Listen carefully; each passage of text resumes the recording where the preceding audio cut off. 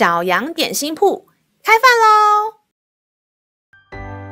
欢迎收听小羊点心铺。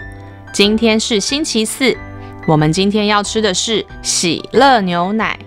神的话能使我们灵命长大，让我们一同来享用这段关于喜乐的经文吧。今天的经文是在箴言十章二十八节：一人的盼望必得喜乐。恶人的指望必至灭没。亲爱的小朋友，你有跟爸妈要求过什么，而爸妈也愿意满足你的心愿的经验吗？心中是否非常喜乐呢？下次你也可以试着把你的心愿告诉天父，让他来回应你的需要。虽然我们心中所想的，天父都知道，但是当我们跟他诉说，并且经历到他的回应。心中会感到无比的喜乐，因为你会更深刻体会到神的爱和供应。老师有个朋友，他的财务比较辛苦。有一次，他跟我说，他的儿子很想要玩蛇板，但是他知道妈妈没有多余的钱可以买给他，所以他就自己跟天父说。没想到过没几天，我的朋友的客人去找他，拿了他小孩不玩的蛇板。问我朋友的儿子愿不愿意收下？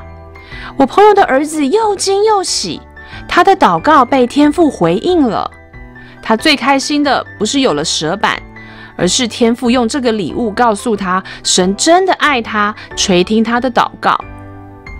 让我们常常来对神诉说我们心中所想的，天父一定会回应我们的祷告，告诉我们他有多爱我们。让我们再一起来背诵这段经文吧，《箴言》十章二十八节：一人的盼望必得喜乐，二人的指望必至灭没。《箴言》十章二十八节：一人的盼望必得喜乐，二人的指望必至灭没。你都记住了吗？